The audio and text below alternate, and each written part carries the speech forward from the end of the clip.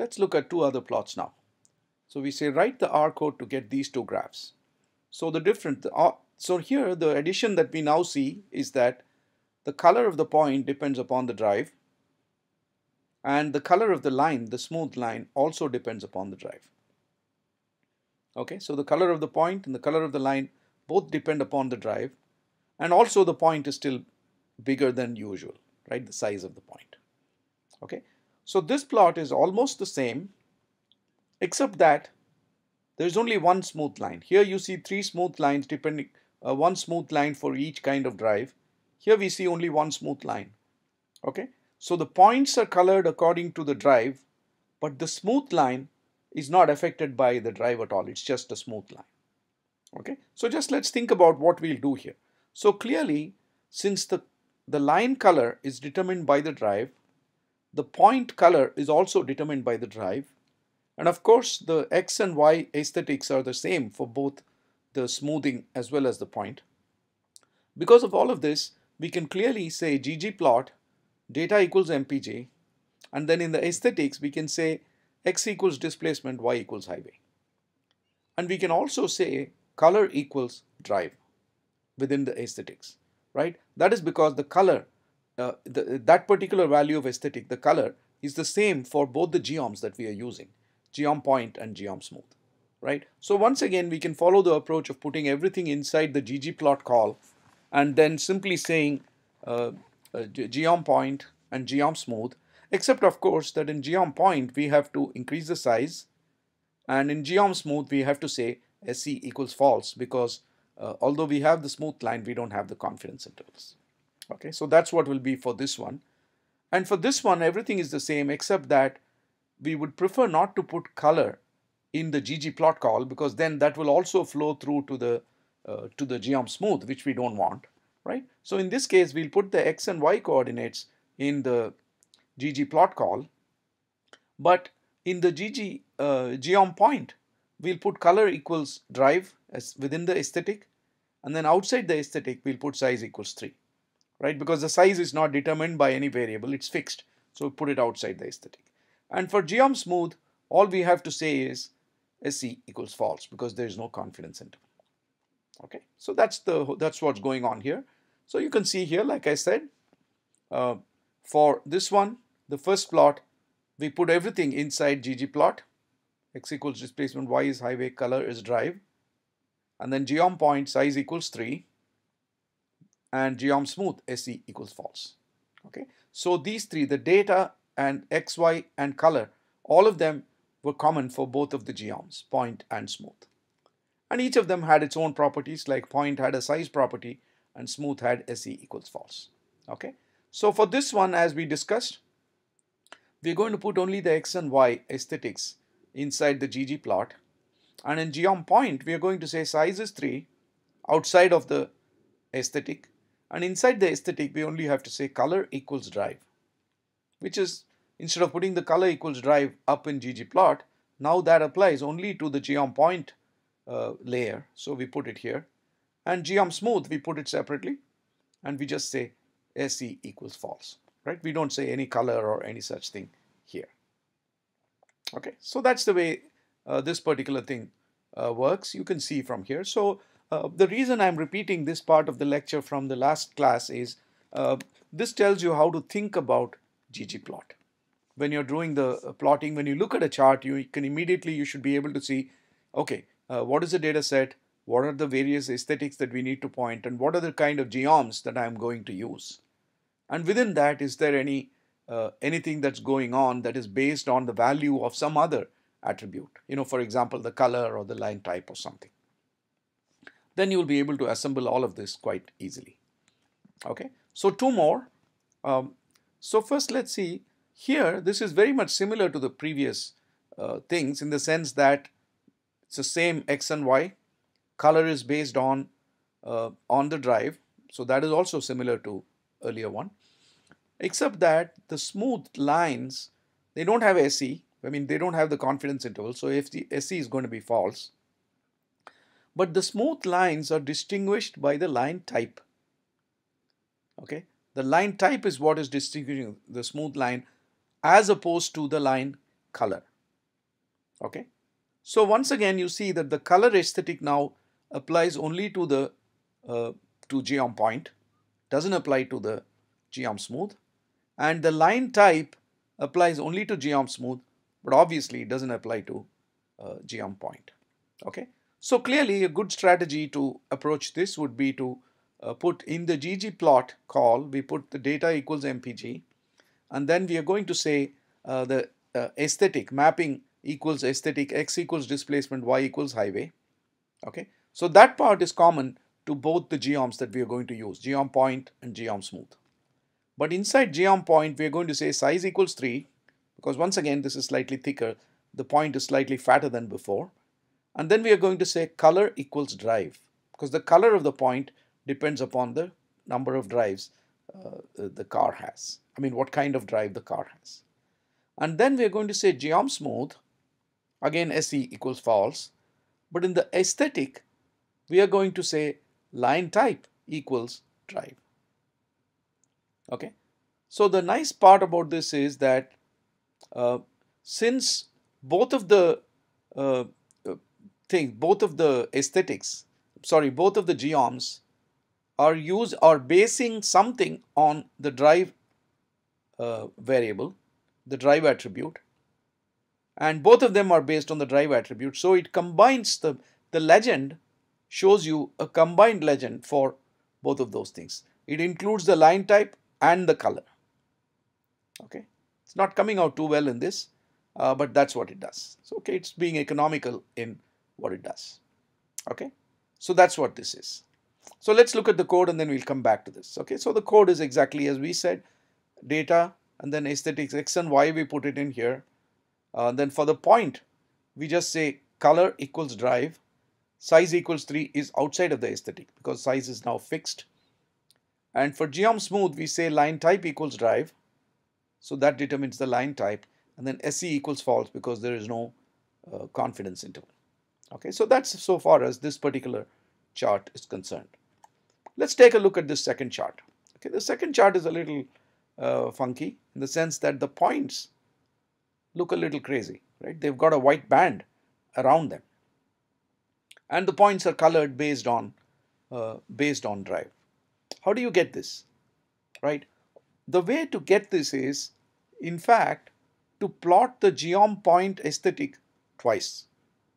Okay, once I'm going to plot the geom point with color equals drive, size equals something. Okay, the second time I'm going to plot the geom point again, but this time I'm going to increase the size and then I'm going to say the color of the color of every point is just white, right? So what I'm actually doing, in fact, I should plot the white first. So first I plot a layer, a scatter plot layer with all the points colored as white disks, right? Nice big white points. Then I come back and do a normal plot of all the uh, uh, points, this time with a different color, right? So the point that you're seeing is actually two points. First the white, then on top of that we are putting the other color. Okay, so geom point is going to now come twice in this. Okay, now clearly this is not a very useful thing to do or anything, but we are just you know flexing our ggplot muscles. That's all we are doing here. Okay, so again mapping aesthetics x and y they are common for uh, both the geoms but we are using geom point twice, right? First time I'm plotting a white thing with size equals 4, okay? So that's what is giving the big white blob. And again, look, the, we didn't put the color white is inside aesthetic, right? Because if you're putting something inside aesthetic, then what you're saying is how that is plotted depends upon a value inside the data set. But here we are putting a fixed value, so that's not dependent on any, any value in the data set. So you should put it outside of the aesthetic. And I said size equal to 4 because I want the white disk to be somewhat big. And then I plot the regular uh, plot um, of, of course, the, the aesthetics, I mean, the X and Y are still the same. So this time I'm saying make the color based on the drive and make the size 2. So I'm display, uh, explicitly making it a little smaller so that you see the white disk and inside that a small point. Okay, so it's just a nice little trick uh, so what it also illustrates is that the same geom can even occur multiple times. Nobody is stopping you. Okay. In fact, you might want to plot some values here and then use geom point to plot a completely different set of data here too. If you want, you can do that. Okay. Now let's move on to a slightly different topic. And this topic is the topic of statistical transformations. Okay. So now we are going to look at this chart. ggplot data equals diamonds. Now diamonds is a data set that is already available inside R. Uh, I think it's inside the ggplot package actually. Okay, so you don't have to read the data. You just say data equals this because we've already loaded the package ggplot. So whatever data is associated with that is already available in the package. So you don't have to read it. It's just there. And then we are using a new geom that we have not seen before. Geom bar mapping equals aesthetic x equals cut. Okay. Now this diamond data frame has a field called cut, has an attribute called cut, meaning this has got information about some 54,000 diamonds, actual, uh, you know, uh, precious stone diamonds, cut diamonds. And for every diamond, it has information about its weight, that is how many carats the diamond is. And then it has information about the various dimensions of the diamonds. There are three dimensions called X, Y, and Z dimensions, and we'll look at that later on. And then it's got information about the kind of cut the diamond has had. Okay, that is the quality of the diamond how good is the cut of the diamond. So that's what we are using here. So geom bar is sort of like a histogram, but it's not really a histogram. And in the geom bar, when you give it an aesthetic, which is an, a, a factor, that is a categorical attribute, as you will shortly see, then what it's going to do is it's going to count the number of uh, rows for each of those values and then plot a bar. This is what you're going to get. Okay. So cut is a variable and cut has the values fair, good, very good, premium and ideal. Okay, so those are the values and what uh, when you use geom bar and you provide an x x uh, mapping aesthetic mapping which is a factor or categorical variable then the way it behaves is to count within the data set how many have each of these values so for example within our 54,000 odd diamonds around uh, 22,000 diamonds have an ideal cut. Okay, around 13,000 something have a premium cut, and about a thousand have a fair cut, and so on. Okay, that's what this is showing. It's not a histogram. Remember, in a histogram, here what we are doing is we are just counting for each value of the categorical variable, that is of the x uh, aesthetic, how many rows are there in the data frame okay it looks like a histogram but it's not a histogram because in a histogram the the attribute you provide is a continuous variable at least a numeric variable. And what it does is it divides the entire range into smaller buckets and then counts how many fall into each bucket. Okay? So there is a whole process of creating bins and putting the values in the bins and then counting them.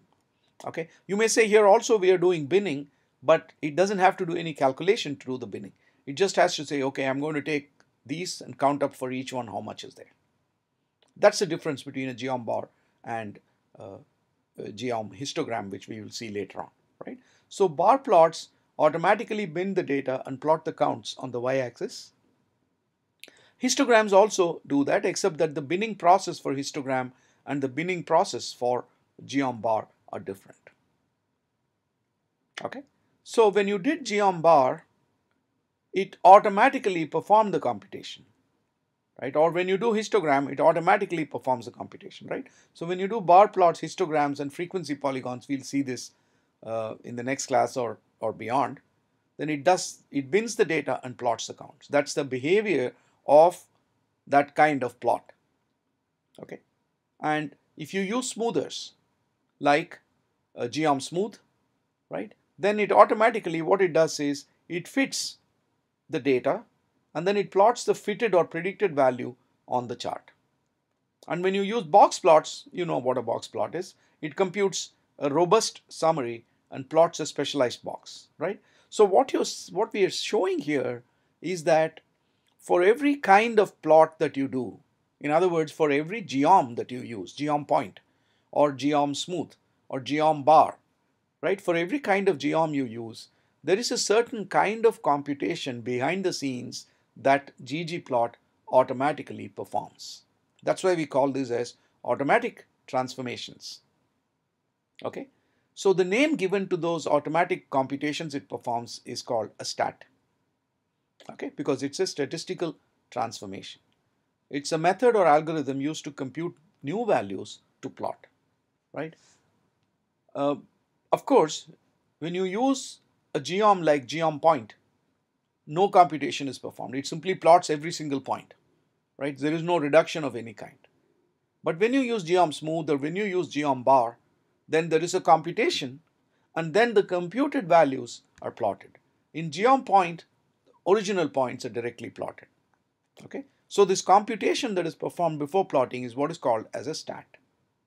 Okay, in fact, if you type G question mark geom bar in RStudio, then and then go and look at the result you get, that will tell you that the default stat for it is count.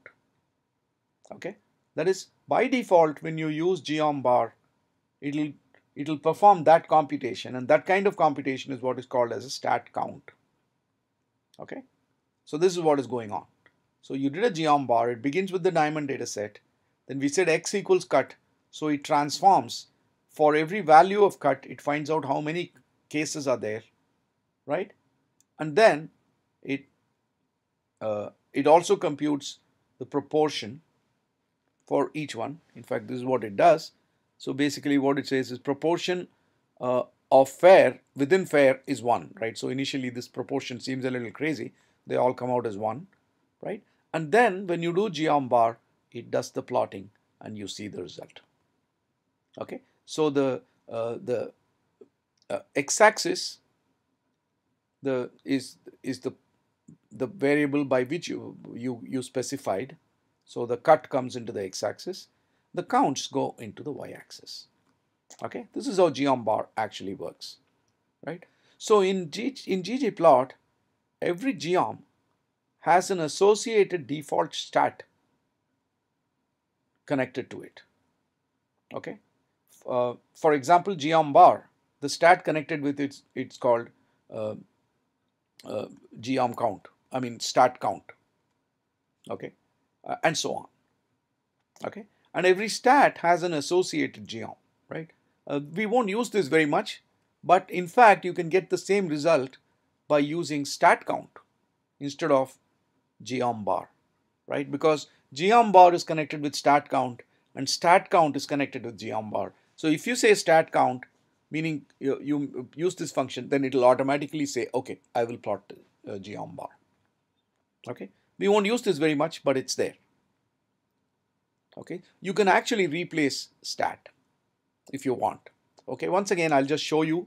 Uh, maybe later on we'll see. Okay, now here there is a function we are using demo equals tribble. Okay, tribble is just a convenient way of creating, for now you can think of it as a convenient way of creating a data frame very easily. Okay. Now normally when you create a data frame you have to create uh, individual vectors and then combine them into a data frame. Whereas here you can create it more naturally. So I'm just saying tribble within brackets then I'm saying comma uh, a comma b comma and then we put a tilde to say that these are variable names or attribute names and then we just say bar 120 bar 230 bar 340 okay so these are like the values of this attribute and these are the values of these other attribute.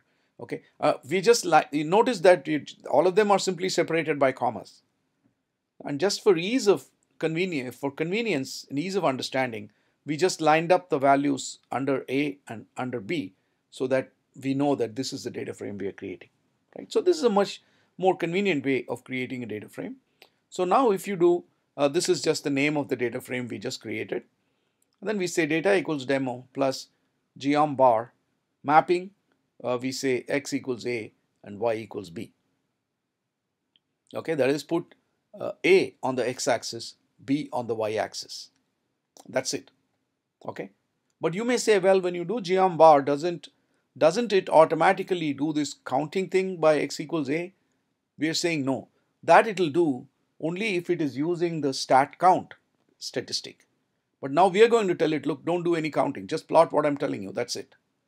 then it that you say that by telling it stat equals identity. Identity means keep it as it is. Don't do any computation, right? Then of course it'll just simply plot it. It'll just put A and put the size of that which is 20, B 30. Uh, I mean, I mean, I mean, bar one to uh, uh, bar one is the value here. 20, bar 230, bar 340. It's just going to plot it. No transformation occurred here because we told it explicitly. Look, I don't want you to do any transformation right? Otherwise, by default, geom bar is going to do a transformation. Okay, so you can actually replace the stat, which is what we did in the previous one. Okay, uh, so this example here, uh, we, what we are trying to do is to plot instead of the counts of the number of diamonds for each kind of cut, we want to plot the proportions. Okay, so to do the proportions, again, I'm going to say x aesthetic x equals cut and if you leave out y, then it will simply plot the counts. But if you say y equals dot dot prop dot dot, that's kind of a reserved word to tell it, I want you to prop, plot proportions. Okay. But we know that from the previous slide here, we know that all those proportions are initially going to turn out as just one, right? So notice here, right? So initially it's going to make all the proportions as one because the fair diamonds, the numerator and denominator, both is going to use the same count. So all the proportions turn out to be 1, right? So if you're not careful and if you use this approach of proportions, okay, then all the bars will come out basically as 1 because all the proportions are 1, right? But you want to tell it, don't take the proportion of each value as itself, but take the proportion of each value as a proportion of the total, right? To force it to go to the total, you just have to say group equals. And it really doesn't matter what you put to the right hand side here. Okay. So the moment you say that, you're saying, okay, uh, you know, take it as a proportion of the total. Okay. So that's what we are going to show here. Geom bar uses the stat count, right? So by default, it plots like this, right? We just said y equals prop and then of course the prop values are all 1 so it's going to come out like this. If you want it to come out correctly like this then you have to do group equals 1 or group equals something right in fact anything you can put group equals and then put anything there any number there and then it says okay I'll take the proportions of the total okay it doesn't seem very logical but this is how it actually works